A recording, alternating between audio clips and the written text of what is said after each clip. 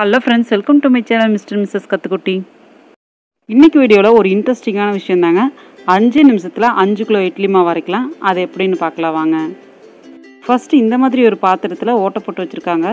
அரிசியிலேருந்து தண்ணியெல்லாம் வடிகிறதுக்காக அரிசியும் உளுந்தையும் ஊற வச்சு ரெடியாக கொண்டு போனோம்னா அந்த பாத்திரத்தில் போட்டு தண்ணியை வடிச்சிருவாங்க. இந்த மிஷினில் தாங்க அரைக்க போகிறாங்க வடிகட்டின அரிசி உளுந்தையும் இந்த மாதிரி மிஷினுக்குள்ளே கொட்டுனா அதில் இருந்து மாவு நம்மளுக்கு ரெடி ஆயிருங்க. இந்த சின்ன ஹோல் வழியாக பார்த்தீங்கன்னா தண்ணி விழுந்துட்டுருக்கும். மேலே அரிசி உளுந்தையும் போட போட கீழே மாவாக வந்துடுங்க ரொம்பவே சிம்பிளான ஒர்க்கு தாங்க. அஞ்சே நிமிஷத்தில் நம்ம ஈஸியாக மாவரைச்சி ரெடி பண்ணிடலாம். இதுக்கு இவங்க வாங்குகிற சார்ஜ் பார்த்தீங்கன்னா ஒரு கிலோவுக்கு டென் ருபீஸ் தாங்க. அதாவது இப்போ அஞ்சு கிலோ அரைக்கிறீங்கன்னா ஐம்பது ரூபா கொடுத்தாவே போதுங்க. நம்ம வீட்டில் மாவு அரைக்க மாங்கு மாங்குன்னு நம்ம வேலை செய்ய வேண்டியதாக இருக்கும்.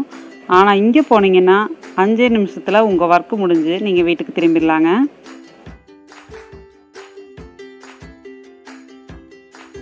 மேலே அரிசியும் உளுந்தையும் போட்டால் கீழே மாவு வந்துடுங்க இடையில சின்ன பைப்பில் தண்ணி மட்டும் விழுந்துட்டுருக்கும் பார்த்தீங்கன்னாவே அழகாக இருக்குது மாவு வந்து ஈஸியாக விழுந்துடுதுங்க. இந்த மாதிரி ஒரு விஷயம் நிறைய பேருக்கு தெரியாமல் இருக்கலாம். அதுக்காக தான் இந்த இன்ஃபர்மேஷன் நிறைய பேர் கடையில் போய் மாவு வாங்கி சாப்பிடுவாங்க. அதில் நிறைய கெமிக்கல்ஸும் கலந்துருக்கலாம் இந்த மாதிரி ஈஸியாக நம்ம அரைச்சிட்டோம்னா நம்ம ஹெல்த்தியாகவும் இருந்துக்கலாங்க. இந்த மாதிரி அஞ்சே நிமிஷத்தில் அரைக்கிறதுனால இட்லி எப்படி இருக்கும்? சாஃப்டாக இருக்குமா? அப்படிங்கிற டவுட்டெல்லாம் நிறைய பேருக்கு வரலாம். தண்ணியை நம்ம தேவையான அளவுக்கு கலக்கி கரெக்டாக சுட்டோம்னா நம்ம சாப்பிட்றதுக்கு தகுந்த மாதிரி சூப்பரான இட்லி ரெடி ஆயிருங்க.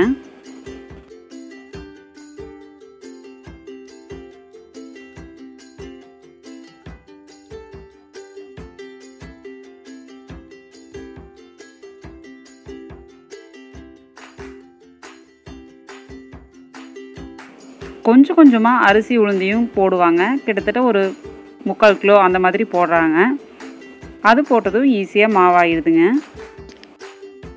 ஃப்ரிட்ஜில் வச்சு யூஸ் பண்ணும்போது நம்ம கெட்டியாகவே வச்சுட்டு தேவையான அப்போ எடுத்து கலக்கி சுட்டுக்கலாங்க. மாவு எப்படி அழகாக விழுதுன்னு பாருங்கள்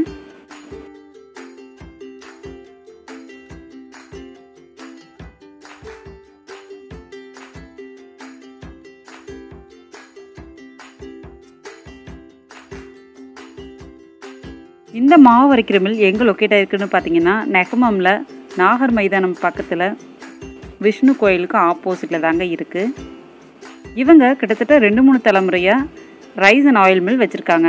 மாவு அரைச்சதும் இந்த மாதிரி ஈஸியான ஒரு ஸ்ப்ரேயர் மூலமாக மிஷினை க்ளீன் பண்ணி நீட் பண்ணிடுறாங்க.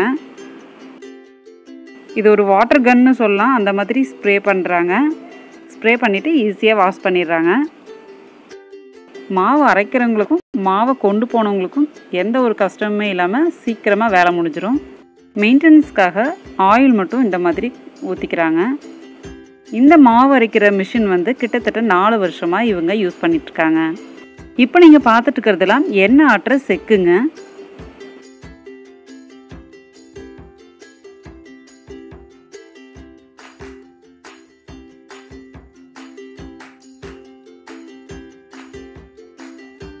இங்கே பார்த்தீங்கன்னா மாவு அரைக்கிற மிஷின்ஸ் வச்சுருக்காங்க.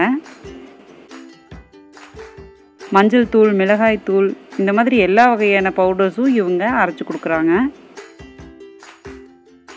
நெகமம் ஏரியாவில் இருக்கிறவங்களுக்கு இந்த மில்லை நல்லாவே தெரியுங்க.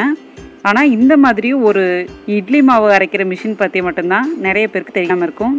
அதுக்காக தான் உங்களுக்கு இந்த சூப்பரான வீடியோ போட்டிருக்கேன். தேவையான மெட்டீரியலை கொண்டு போய் ஆயில் அரைக்க முடியலனாலும் இவங்கக்கிட்டேயே ரெடிமேடாக இருக்குங்க. அதையும் வாங்கிக்கலாம்.